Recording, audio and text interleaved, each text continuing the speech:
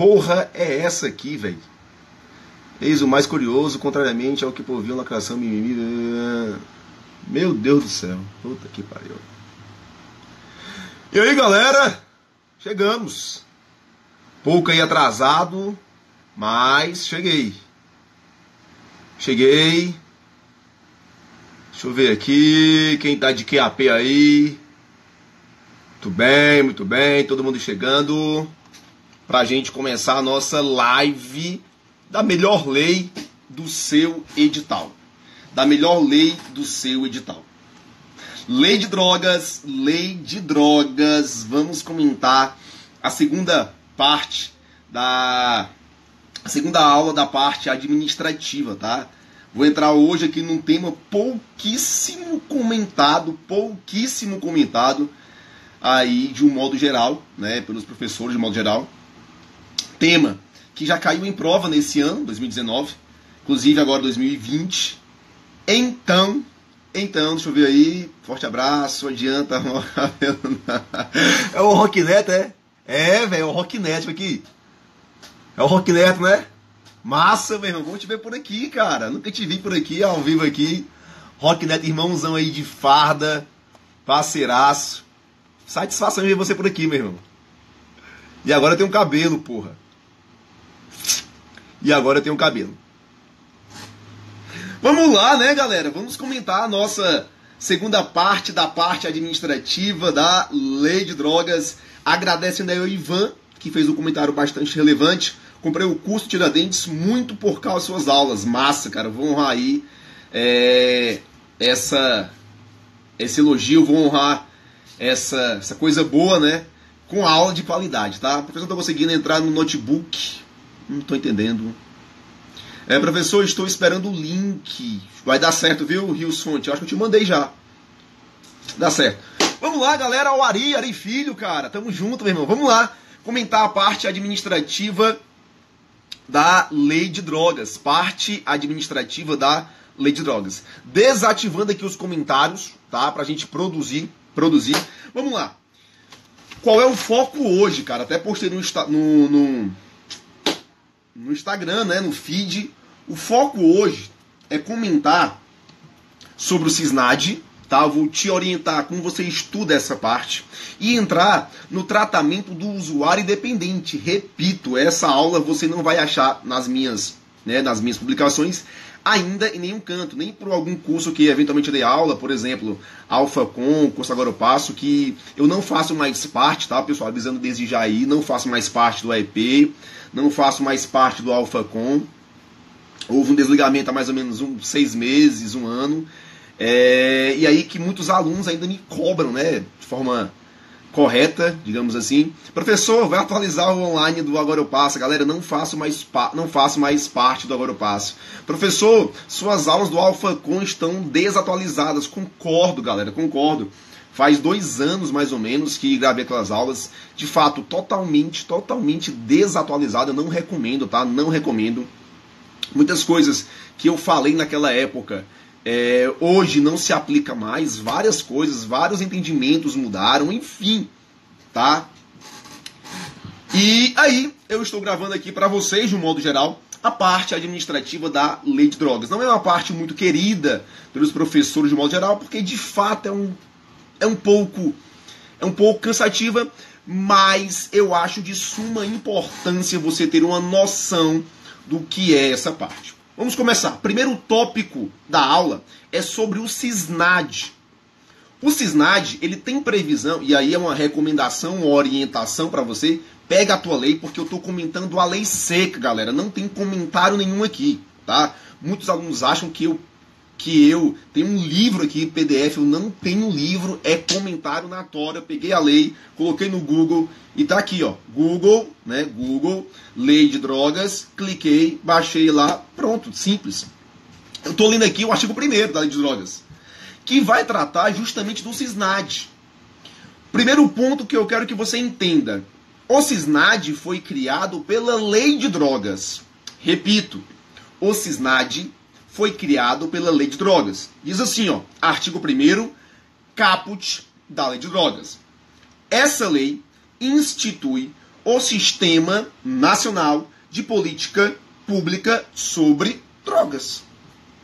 Simples. Essa lei, qual a lei? A Lei de Drogas, institui, cria o Sistema Nacional de Políticas Públicas sobre Drogas. Ponto. Essa lei de drogas, ela foi alterada. Ela foi alterada muito no ano de 2019. E uma das alterações foi pela Lei 13.840.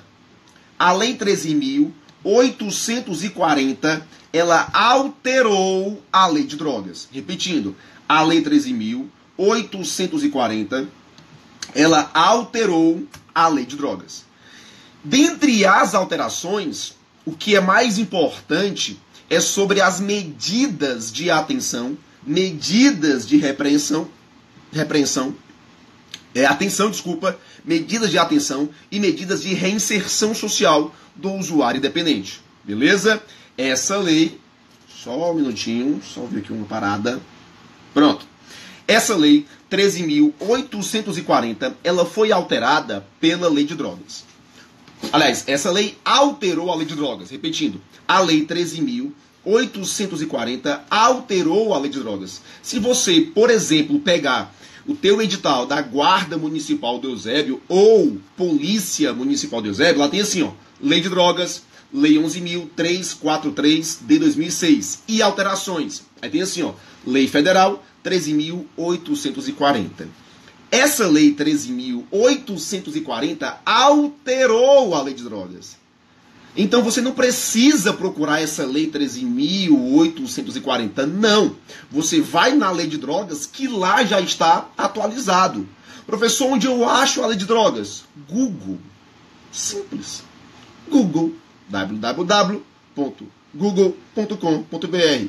Tem lá uma caixinha, você digita a lei e aparece a lei, você clica e tem um acesso a lei atualizada. Beleza? Massa! Portanto, vamos lá, voltando aqui ao foco. O artigo 1 da lei de drogas, ele diz: é, essa lei institui o CISNAD. A lei de drogas, a lei de drogas criou o CISNAD. Massa, professor. Mas o que é CISNAD? Vamos lá. A própria lei de drogas traz o conceito do que é CISNAD. Vai dizer assim, ó. Artigo 3 parágrafo 1 Artigo 3 parágrafo 1 Artigo 3 parágrafo 1 Entende-se por aí eu tenho o conjunto ordenado de princípios, regras, critérios, recursos materiais e recursos humanos, que envolvem políticas, planos, programas, ações e projetos incluindo-se nele, por adesão, os sistemas, é, sistema de política pública sobre drogas. Na verdade, o que o legislador traz aqui é um conceito muito abstrato, é um conceito muito genérico. O que é CISNAD? Olha o que o legislador trouxe. É um conjunto de normas, princípios, regras, é, recursos materiais. O que eu quero que você entenda? Que o CISNAD ele é responsável, responsável por tratar de políticas públicas sobre drogas. Essas políticas públicas elas envolvem a repreensão, elas envolvem é, a atenção ao usuário, elas envolvem a reinserção do usuário dependente. Tudo isso no conjunto de regras, normas, princípios, critérios, recursos. É um conceito abrangente é um conceito genérico que não temos o que aprofundar. A sua banca cobrando, ela cobra literalidade do dispositivo legal. Portanto, esse é o conceito de CISNAD, artigo 3 parágrafo 1 Logo abaixo, no artigo 3 parágrafo 2 temos assim, ó, o CISNAD atuará com um sistema único de saúde e com o sistema de assistência, sistema único de assistência social. Eu falei agora há pouco que uma das principais funções, um dos principais objetivos, na verdade, do CISNAD é justamente trabalhar a reinserção social. É justamente dar uma atenção ao usuário dependente. Beleza, como é que o CISNAD vai fazer isso? Olha que interessante. Como é que o CISNAD vai fazer isso? Através do SUAS, Sistema Único de Serviço Social, e através do SUS, Sistema Único de Saúde. O CISNAD, que é um conjunto de regras, princípios, normas, recursos humanos e materiais, ele atua em conjunto com o SUS e em conjunto com o SUAS. SUS, Sistema Único de Saúde, e SUAS, Sistema Único de Assistência Social. Portanto, artigo 1 da Lei de Drogas cria o CISNAD. O artigo 3 traz o conceito do que é CISNAD. O artigo 3 parágrafo 1 traz o conceito do que é CISNAD. O terceiro, parágrafo 2 vai tratar da atuação, da articulação, que é em conjunto com o SUS e em conjunto com o SUAS. Deixa eu só ativar aqui os comentários para ver se o áudio tá bom, para ver se está travando. Tá travando aí, galera? Tá travando aí. Daqui a pouco eu falo sobre o alfa e ômega, tá? Daqui a pouco eu falo sobre o alfa e ômega. O áudio tá bom para vocês? Muito bem. Meu cabelo tá arrumado, tá? Não tá hoje?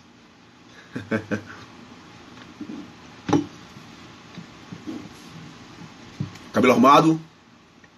Massa. Fiz um moicano aqui, ó. Viu? Daqui a pouco puxar o rabão de cavalo aqui, tatuar a cabeça. Capunk. Vai, vamos lá. Seguindo. Artigo 1 institui, cria o SISNAD. O artigo 3 parágrafo 1 fala do conceito e o parágrafo segundo fala da atuação da articulação. Massa. A lei de drogas, ela prevê, ela prevê finalidades, ela prevê princípios e prevê objetivos do CISNAD. Repetindo, a lei de drogas prevê finalidades, prevê princípios e prevê objetivos do CISNAD. Repetindo, a lei de drogas prevê finalidades, princípios e objetivos. Onde, professor? Vamos lá, princípios no artigo 3 No artigo 3 eu encontro os princípios. Desculpa, finalidades, foi mal. No artigo 3 eu, eu encontro as finalidades. Diz assim, ó. O CISNAD tem por finalidade articular, organizar e coordenar as atividades relacionadas com a prevenção do uso indevido de drogas e a reinserção social do usuário e dependentes. Vamos entender qual é a intenção do legislador. Eu quero que você entenda. Eu comentei agora há pouco que a atuação do CISNAD, a atuação do CISNAD, a articulação dele é em conjunto com o SUS e em conjunto com o SUAS. E olha que interessante, uma das finalidades do CISNAD previstas no artigo 3 é articular, integrar, organizar e coordenar atividades relacionadas à prevenção ao uso indevido. Prevenção ao uso indevido. Eu tenho um viés aqui de saúde pública. Saúde pública, SUS. Ele fala também e atenção e reinserção social do usuário dependente. Eu tenho aqui o viés social. SUS, suas, SUS, suas. Beleza? E eu comentei também com você que uma das finalidades é reprimir, é coibir a produção não autorizada e o tráfico de drogas. Gustavinho? Oi. Vem cá. Oi. Sou um ninja. Deixa eu mostrar aqui, galera, galera, o cabelo do Gustavo. Olha o que ele fez no cabelo. Só quer ser o pai dele, ó. Mostra, Mostra o moicanozão pra galera. Ah, moleque. Degradei o nome, né? Uhum. Calma, filho. Ó, listinha, moicano, igual do papai. Meu pai, não ah. mexa nisso. Tá bom. Isso é minha arma ninja. Certo. Bora lá continuar? Portanto, artigo 3 traz finalidades. O artigo 4 traz princípios que você vai dar uma lida. O artigo 4 traz princípios que você vai dar uma lida. E o artigo 5 vai trazer os objetivos. Objetivos. Beleza? Estruturei para você o CISNAD. Repetindo. Artigo 1 caput foi cria o CISNAD. O artigo 3 parágrafo 1 traz o conceito de CISNAD. O artigo 3 parágrafo 2 fala da atuação em conjunto com o SUS e o SUAS. O artigo 3 caput vai trazer as finalidades. Não, não, não, não, Tô concentrado. concentrado. O artigo 3 traz finalidades. O artigo 4 traz os, o, os princípios. E o artigo 5 os objetivos. Finalizamos, portanto, o CISNAD. Finalizamos, portanto, o CISNAD. Logicamente que isso não esgota o seu conteúdo. A minha recomendação é que você leia a lei toda já com essa base pega essa base que eu dei e começa a organizar os artigos. Pega essa base que eu dei e começa a organizar os artigos, que fica bem legal para você. Mas esses são os principais pontos iniciais para que você direcione seu estudo. Massa. Deixa eu ver como é que tá a galera aqui.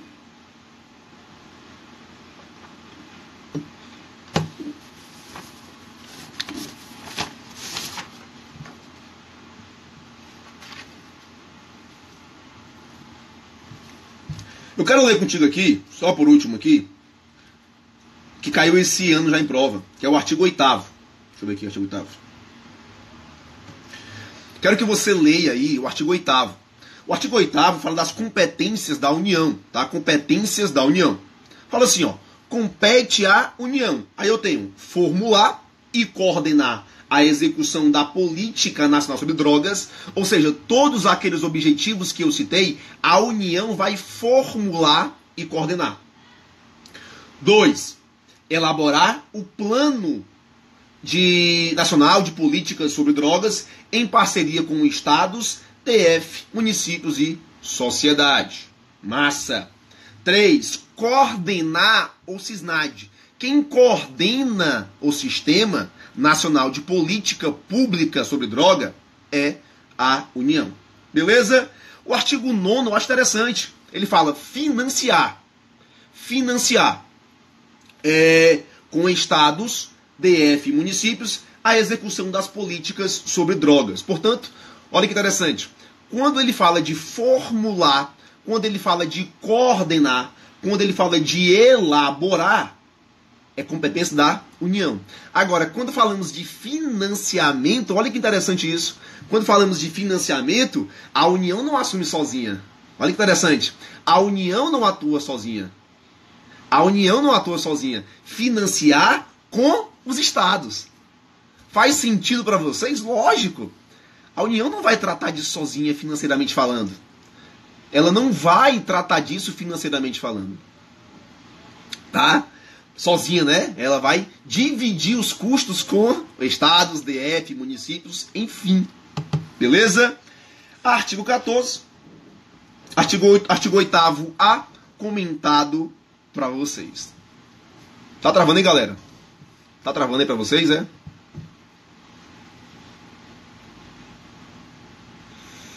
Tá travando para vocês?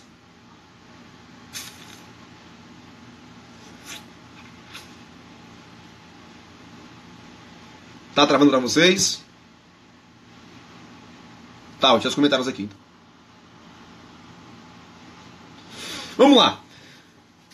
Tópico interessante é sobre, deixa eu ver aqui, é sobre atividades de prevenção do uso indevido de drogas, atenção e reinserção social do usuário e dependente de drogas. De novo, o que eu vou tratar agora é um novo tópico especificamente sobre atividades de prevenção ao uso indevido de drogas, bem como atividades de atenção e reinserção social do usuário e dependente de droga. Vamos lá.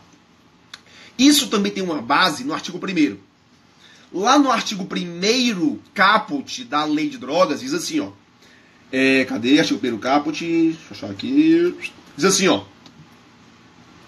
Essa lei institui o CISNAD, prescreve medidas de prevenção do uso indevido de drogas, atenção e reinserção social de usuários e dependentes de drogas.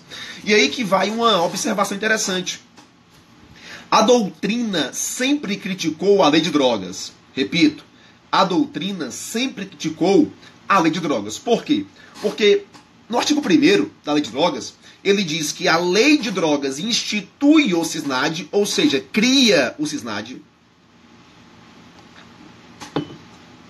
Cria o CISNAD.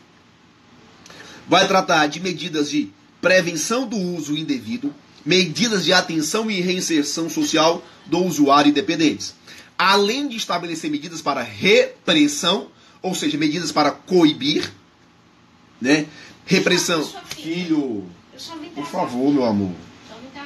Beleza. É, medidas de atenção e reinserção social de usuários e dependentes de drogas, tá? Além de trazer as condutas criminosas. Qual era a crítica doutrinária? Repetindo, qual é a crítica doutrinária? A lei de drogas ela é muito forte, digamos assim, no combate à produção não autorizada de drogas. A lei de drogas ela é muito forte no sentido de punição. No entanto, a lei de drogas ela não trazia medidas de atenção ao usuário, não trazia medidas de reinserção social do usuário, não trazia. E essa era a grande crítica da doutrina. Peraí, como é que o artigo 1 diz? Os objetos da lei de drogas dentre eles reprimir o tráfico e trazer condutas criminosas, dentre eles também medidas de atenção e reinserção social do usuário, mas ela prevê de forma grave, de forma forte, digamos assim, é, a parte criminal, mas não traz medidas de atenção. Essa era a crítica. A lei de drogas trazia um braço forte do Estado no sentido de punir, e a lei de drogas não trazia a mão amiga do Estado. Essa era a crítica. Depois de muito debate, foi a lei de drogas foi alterada por essa lei 13.840. Uma lei 13.840 alterou a lei de drogas para agora prever medidas de atenção, medidas de reinserção social do usuário independente do usuário dependente. E esse é o foco dessa aula. E esse é o foco dessa aula. E aí eu te convido ir lá, deixa eu ver aqui, ir lá para o artigo 18. O artigo 18, ele vai trazer as medidas de prevenção. Medidas de prevenção. Fala assim, artigo 18. Constituem atividades de prevenção do uso indevido de drogas, aquelas direcionadas para a redução dos fatores de vulnerabilidade e de risco para a promoção e fortalecimento dos fatores de proteção. Galera, na boa, legislador aqui foi muito abrangente. Ele traz um conceito abstrato que não traduz muito a realidade. Minha orientação para vocês: não adianta ficar pesquisando, procurando fatos, exemplos, como é que corre na prática, porque prática não cai na sua prova. Nesse ponto aqui, a prática não cai. Perceba que o conceito é abrangente, abstrato, amplo, vago. Constituem atividade de prevenção aquelas direcionadas para a redução dos fatores de vulnerabilidade, redução dos fatores de risco e promoção e fortalecimento dos fatores de proteção. Que isso, papai? Que isso? Muito vago. Esse é o conceito. Esse é o conceito. Para sua prova, não adianta. Leva o conceito que tá tudo certo. O artigo 19 vai trazer os princípios e as diretrizes das atividades de prevenção e ponto. E ponto. Beleza? Ficou claro até aqui? Coraçõezinhos. Coraçõezinho sempre. Vamos lá. Próximo tópico. Fala assim, ó. Atenção e reinserção social de usuário independente de drogas.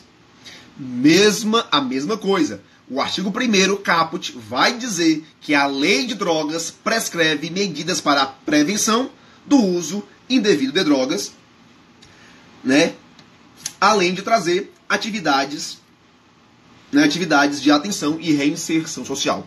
Nesse ponto aqui, a lei de drogas foi mais efetiva. Nesse ponto, a lei de drogas foi mais efetiva. Aqui nós temos exemplos claros.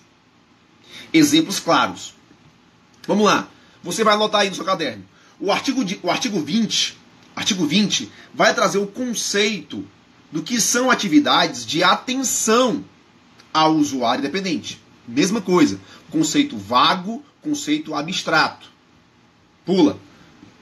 O artigo 21 vai trazer o conceito de atividades de reinserção social. Mesma coisa. Conceito vago, conceito abstrato. Para fins de prova, letra de lei. Vamos de fato ao que interessa. Professor, ô Manguinha, lindo, do meu coração, onde de fato a lei de drogas nesse tópico foi efetiva, trouxe previsão concreta. Pronto. Artigo 23. No artigo 23, ela trouxe previsão concreta. Eu consigo ver a lei, eu consigo ler a lei e eu consigo imaginar na prática como seria o ideal. Eu consigo. Aqui é mais próximo da nossa realidade. Beleza? Deixa eu ver se alguém tem alguma dúvida aqui. E aí eu já começo esse tópico, porque eu acho esse tópico muito legal, cara. Cara, é a melhor parte da lei de drogas essa aqui. Puta que pariu. É a melhor parte. Melhor lei, lei de drogas, melhor parte é essa aqui, sem sombra de dúvida.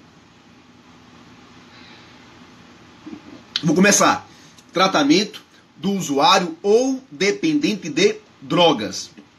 Tratamento do usuário ou dependente de drogas. Essa parte aqui é interessante. Artigo 23 e artigo 23A. Artigo 23 e artigo 23A. Beleza? Melhor lei, melhor parte. Melhor lei, melhor parte. Vamos lá. Pega o seu material, artigo 23. Lá vai dizer assim, ó. Lá vai dizer assim, ó. As redes dos serviços de saúde da União, dos estados, dos DF, dos municípios, desenvolverão programas de atenção, de atenção ao usuário e ao dependente de drogas. Pronto. Eu comentei agora há pouco quais são as atividades de atenção. Está lá no artigo 22. É isso? Está lá no artigo 22. Aliás, 20 e 21. Desculpa, artigo 20. Comentei agora as atividades de atenção. Dá uma lida. É abstrato, mas dá uma lida. Vamos lá, o artigo 23A. Aqui o bicho pega. Minha orientação, minha orientação. Quando o legislador faz uma lei, e essa lei é nova, muitas vezes, muitas vezes, a lei não tem de imediato a aplicabilidade prática. Olha que interessante. Olha como isso é importante para você entender, o legislador. Quando o legislador faz uma lei, escreve a lei, Congresso aprovou e promulga, os efeitos concretos da lei, eles não são de imediato atendidos, não são. Alguns sim, outros não. Aqui não. Se você eventualmente trabalha nesse aspecto de usuários de drogas, de dependentes de drogas, faz algum trabalho social, você possivelmente vai dizer o seguinte, professor, me desculpa, mas isso aí não tem nada a ver com a prática. E eu concordo. Se você eventualmente participou ou participa de algum trabalho social que trata disso, de acolhimento, de internação, de usuário dependente, possivelmente há uma, uma, uma, um distanciamento entre a teoria e a prática. Por quê? Porque isso aqui é a intenção do legislador. Que com a intenção se efetiva na prática, ou se amolda, ou se encaixa, ou melhora, enfim. Mas é o que está na lei. E o que é importante para sua prova. Beleza? Vamos lá. Artigo 23A diz assim, ó.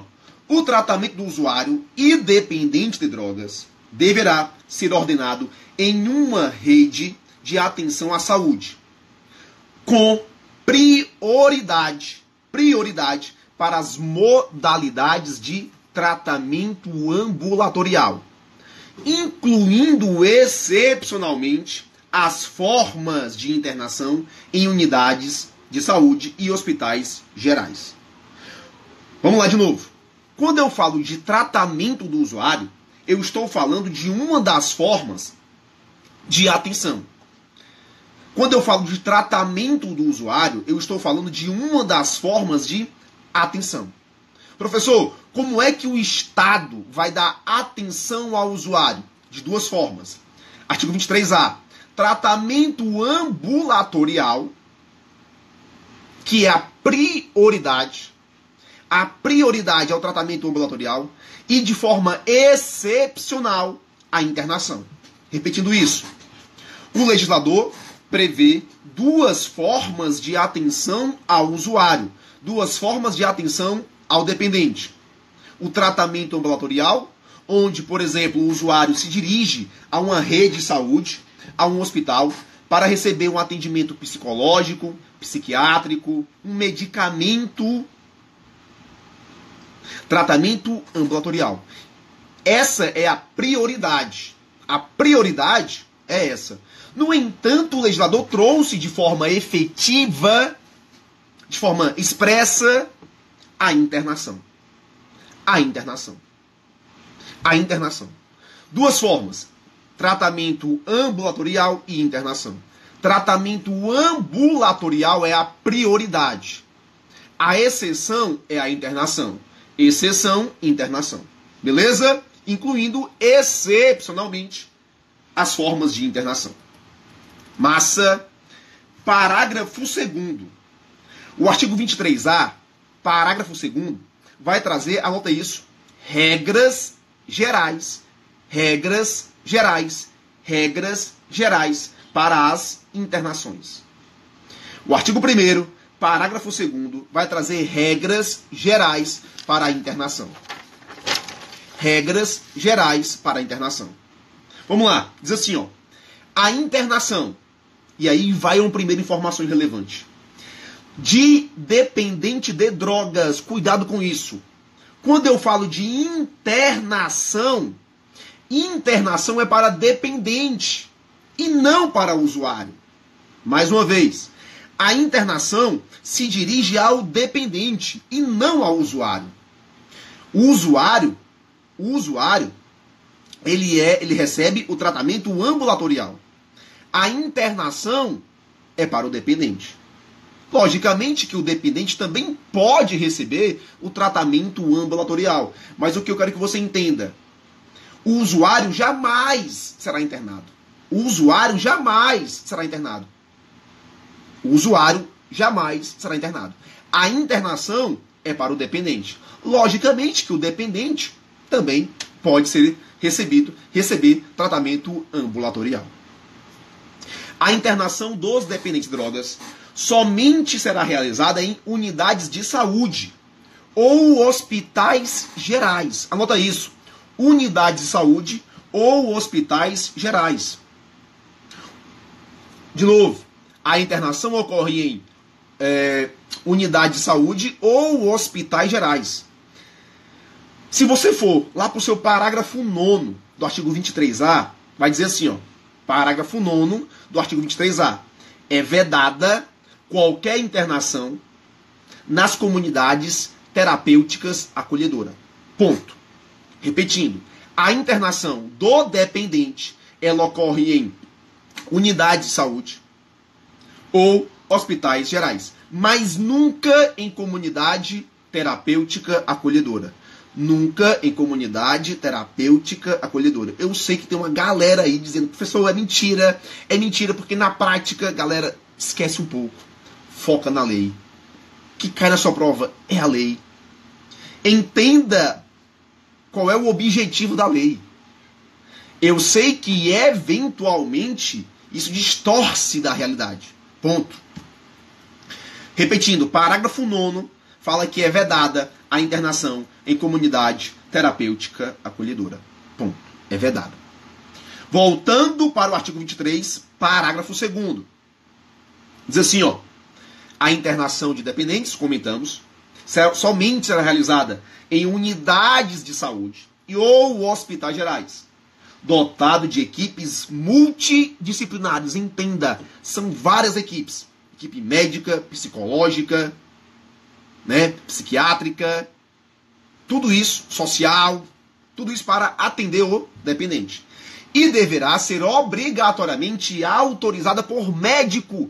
Vai cair na sua prova que quem vai autorizar o juiz está errado. Está errado. O juiz não autoriza. Quem autoriza é o médico. O juiz, repito, não autoriza medida de internação. Quem autoriza é o médico. Entenda. Se eu falo de usuário, eu estou falando de um usuário que ele tem problemas. E lógico, lógico, envolve problema psicológico, psiquiátrico, emocional. Entenda, não é caso de justiça propriamente dita. E sim caso de saúde pública, velho. Entenda a lógica da lei. Eu não vou fazer você, eu não vou fazer você decorar. Não vou lhe dar um bizuzinho, não. Vou fazer você entender. Quem é mais competente, quem tem mais conhecimento técnico sobre um usuário, se ele necessita de uma internação, é o juiz ou o médico? É o juiz ou o médico? Médico. Então, quem autoriza a internação do dependente é o médico e não o juiz. É o médico e não o juiz. E isso vai cair na sua prova, com certeza.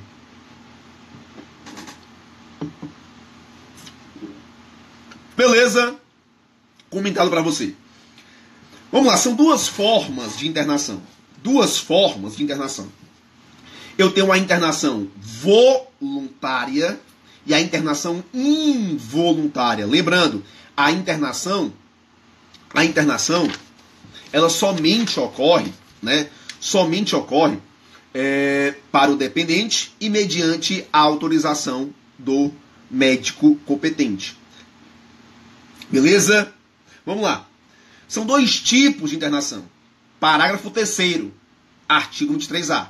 O inciso 1 fala da voluntária. Se é voluntária, é com consentimento do dependente. Se é voluntária, é com consentimento do dependente. E a internação involuntária. E adivinha? Sem o consentimento do dependente de drogas. Sem o consentimento do dependente de drogas. Vamos lá. Vou falar da voluntária. Vou falar da internação voluntária. Artigo 23, parágrafo 4. Artigo 23, parágrafo 4. A internação voluntária deverá ser precedida de declaração escrita voluntária, tá? Voluntária, escrita da pessoa solicitante que optou por esse regime. Logicamente, se eu, se eu, dependente de droga, quero me tratar, Obviamente que eu vou ter a minha liberdade, mesmo que temporariamente restrita, mas eu vou.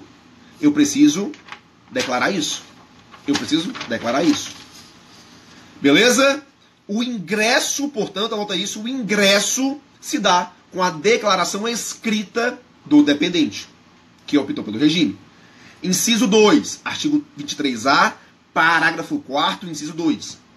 O seu término dar-se-á por determinação do médico responsável ou por solicitação escrita da pessoa que deseja interromper o tratamento. Cuidado com isso. O ingresso, ele ocorre mediante autorização do médico. Todo ingresso ocorre mediante autorização do médico. Mesmo que o usuário, desculpa, desculpa, usuário não, dependente, dependente, mesmo que o dependente solicite quem vai admitir é o médico. Lembra, saúde pública, saúde do dependente. Então o médico é quem atesta aquilo. Se para entrar ele necessita da autorização do médico, para sair também. Para sair também. Tanto é assim que a lei fala, será seu término dar-se-á por determinação do médico responsável ou por solicitação da pessoa que deseja interromper. A pessoa solicita ao médico e o médico, obviamente, ele vai dar o aval. Ele vai conceder a alta. Professor, ele pode negar? Não. Ele não pode negar. Porque se ele nega, ele está restringindo de forma ilegal a liberdade de alguém. Aí você pergunta, professor, então para que, que ele pede ao médico? Simples. Ora, se ele está sob o cuidado do médico, está sendo acompanhado de forma psicológica, mediante medicamentos, aquele medicamento possivelmente tem algum efeito colateral. E é necessário que ele esteja internado para que fique em observação. Se ele pede a alta, o médico assina, beleza, você vai, assine aqui, porque eu não mais me responsabilizo por você. Você se responsabiliza pelos seus atos. Beleza? Massa. Massa. Professor, vamos falar, vamos falar da involuntária. Involuntária. A internação involuntária, ela tem previsão no artigo 23A, parágrafo 3 inciso 2. Repetindo, 23A, parágrafo 3 inciso 2. Ela ocorre sem o consentimento do dependente e ocorre a pedido do familiar. O familiar pede. Ou o responsável legal, ou o servidor público da saúde, ou da assistência social, ou dos órgãos integrantes do CISNAD, com exceção dos servidores da área de segurança pública. Cuidado, ele solicita ao médico e o médico admite. E o médico admite. Vamos lá. Características sobre a internação involuntária. Parágrafo 5.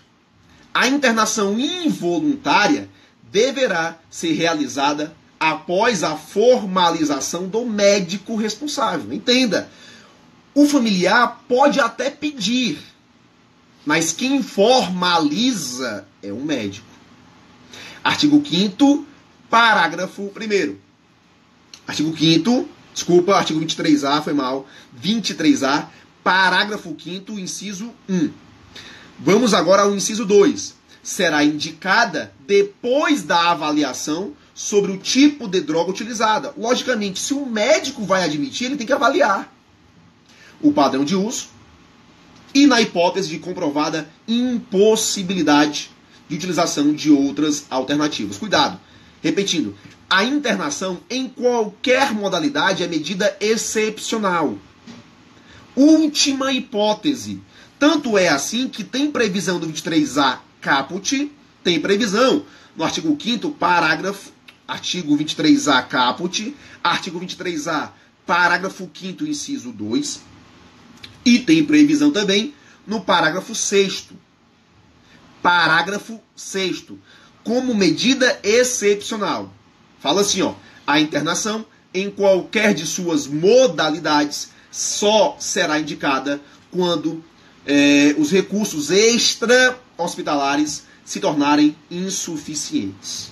Insuficientes. Beleza? Portanto, é medida excepcional. Vamos seguindo ainda sobre as características da internação involuntária, artigo 23A, parágrafo 5 agora inciso 3. Olha que interessante. A internação involuntária, ela tem um prazo pré-determinado. Diz assim, ó: perdurará apenas pelo tempo necessário à desintoxicação, no prazo máximo de 90 dias, tendo seu término determinado pelo médico responsável. Repito, nesse aspecto não entra a figura do juiz. É o médico, o médico. Inciso 4 diz que a família ou representante legal poderá a qualquer tempo solicitar requerer ao médico a interrupção do tratamento. Entenda, quem decide quem entra e quem sai é o médico. O familiar pode até pedir, mas quem determina é um médico. Show de bola! Parágrafo 7 fala assim, ó. Todas as internações voluntárias e involuntárias e altas entrada e saída deverão ser informadas em no máximo 72 horas ao MP, Defensoria Pública ou outros órgãos de fiscalização. Beleza, finalizamos, portanto, as formas de internação. Amanhã, deixo já desde já, deixo desde já agendado, amanhã, domingo 29, vou falar do acolhimento. Amanhã, 29, domingo, falo do acolhimento. Acolhimento em comunidade terapêutica acolhedora, que é um outro tópico. Você já vai encerrar? Daqui a pouco. Ou quero responder. Eu quero Calma, calma, daqui a pouco você vai. Daqui a pouco você daqui a pouco você. Daqui a pouco, viu? Daqui a pouco tu vem, tá? Tá, pai, veste um pincel, vou colocar o nome da minha espada. Aqui, ó. Manda as dúvidas. Cara, assunto massa. Lei de drogas top. Melhor lei, melhor tópico. Galera, eu sei que eventualmente você trabalha nessa área, você que é advogado, você que, que atua aí em algum setor social desse. Eu sei que eventualmente a prática não é compatível com a teoria, mas, repetindo, aqui o meu foco é prova. Que você acerte questão de prova. Beleza? Dúvidas nenhuma? Vamos aqui a alguns recados, tá? Vamos aqui a alguns recados. É, amanhã, galera, encerra o nosso curso, né? Um curso em parceria com o professor Marcos Moreira e eu. É, um curso focado na Guarda Municipal do Eusébio, na Polícia Municipal do Eusébio. É um curso também no Instagram, porém focado em resolução de questões. Focado em resolução, resolução de questões. Vamos resolver 500 questões, 500 questões de várias matérias, todas: informática, português, matemática, administrativo, humanos, penal, todas as matérias, todas, galera. E a equipe tá foda. Não sei se você conhece a professora Emily, número um aqui no Ceará, sem sombra de dúvidas. Quiçá no Brasil, viu? Até no Brasil, em direitos. é, Pera, filho, calma. em direitos humanos, tá? Professor Marcos Moreira, comigo extravagante, professor Anderson de informática, revelação aí desse ano, administrativo com o Lucas, cara, o Lucas é muito foda administrativo. O Flauzino, parceiro, Flauzino aí, parceiraço também. O curso começa é, segunda-feira, tá? Segunda-feira. São dois horários, são duas aulas por dia. Uma aula às 18, outra aula às 21 horas. 500 questões, 500 questões, 500 questões. Amanhã temos uma aula privada para eles, tá? Uma aula privada para eles. Eu e o professor Marcos vamos ver 20 questões focado também nessa, nessa matéria. Enfim, quem tiver interesse, manda um direct para mim que as inscrições se encerram amanhã. As inscrições se encerram amanhã. Porque o Gustavo fica atrapalhando, ele fica assim, ó. Eu, eu dando aula aqui, ele quer aparecer, explicar, ele quer aparecer, ele fica ali pulando na cama, fica ali com as coisas, ele quer aparecer. Aí eu, calma, Gustavo, calma, Gustavo. Aí ele vem, volta, fala, tá? Ele, ele, vai, ele vai ter a chance dele. Só Calma. pra constar, eu conheço a professora Emily, ela é minha tia. Não, eu tô madrinha. É? Lógico. É minha madrinha E tia. tia, tia e madrinha. É. Beleza, galera. Daqui a pouco chamo, tá? Segura aí. Não vou encerrar sem te chamar. Calma. Tá, eu vou responder essas perguntas final da live. Com a minha espada nova, chamada Materaço. O material entregamos amanhã, tá? Amanhã antes do meu dia. Antes do meu dia. Beleza? Isso, ganha material em PDF. Material em PDF. Show de bola! Show de bola! O menino já quer ser professor, é verdade, quer aparecer aqui. Galera, vocês ganham é um Vadmec focado só com a parte jurídica. Ganham edital verticalizado, lives extras, sorteios, brindes, enfim, galera. Enfim, vamos junto. Cola na gente, que eu garanto que é sucesso aí na sua aprovação. Show de bola! O item, a internação pode ser particular? Pode, a, a lei não fala A lei não fala nada sobre restrição. Não restringe nada sobre isso, na verdade. Beleza, os prazos, profs, os prazos o quê? Para Gustavo sabe das leis mais que eu. Show de bola, valores, R$ 69,90, tá? R$ 69,90. Vem, Gustavo. Pra cá, vai. Galera, live com conteúdo jurídico encerrada. A promoção acabou quarta-feira. Live com conteúdo jurídico encerrado. O Gustavo quer falar um pouco com vocês que ele quer aparecer. Vai. Olha, eu vou responder algumas perguntas. Vai, pergunta, pro- pergunta, fala com assim, programa, é, é, é, é, quadro, fala que eu te respondo, com o Gustavo Fala Aires. que eu te respondo. Vai logo. Vai, pergunta pro Gustavo Aires, o nome dele é Gustavo Aires. Vai. Fala que eu te respondo, vai. Fala que eu te respondo. Quer aparecer. Ai, Não, ninguém. Ninguém, Gustavo? Oh, pronto. Gustavo, falou.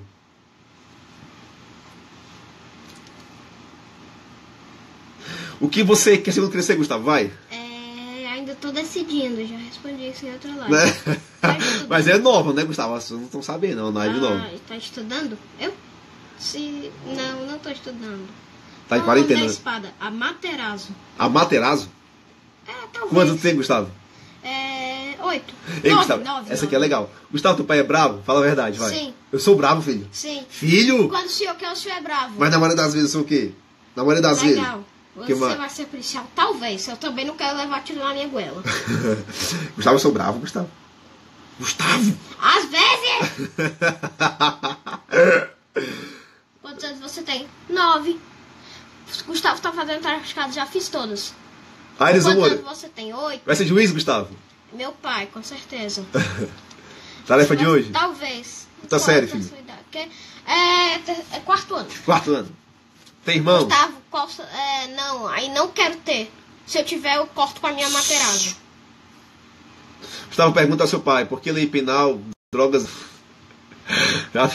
Não, eu tô com preguiça de falar tudo isso. Gustavo, qual é o melhor professor? Meu pai. E a tia Emily também. Pronto, né? Gustavo vai aprender ou não. Por, os, e- por, por osmose, eu acho. Tchau. Ei, Gustavo, isso aqui, ó. Gosta de tatuagem? Sim, Gosta de tatuagem, filho? gosto. Quer fazer umas? Sim. Qual o nome do corte? É... Corte ninja. Corte Ninja. Galera, é isso. Tava ficando por aqui. Eu vou jantar, vou assistir alguma coisa, vou descansar. Por hoje é só. Vai comer um macarrão. É um Macarrãozinho macarrãozinho com molho. com molho, né? É, a tia Beth fez especialmente pra você. É. Pra quem não sabe, tia Beth é a namorada dele. Beleza? Valeu, valeu, valeu. Qualquer dúvida sobre o curso de, de, de, de, de- do Alfa e Ômega, eu e o professor Marcos Moreira, manda um direct eu te mando, a, a, a, a, te mando as informações. Valeu, galera, e até a próxima. Amanhã, tá? Amanhã, amanhã, deixa eu ver que horas. Amanhã, 22 horas. Amanhã, 22 horas, eu falo ainda sobre lei de drogas. Vou falar das comunidades terapêuticas acolhedoras. Beleza? Participação. Vem. Crescendo.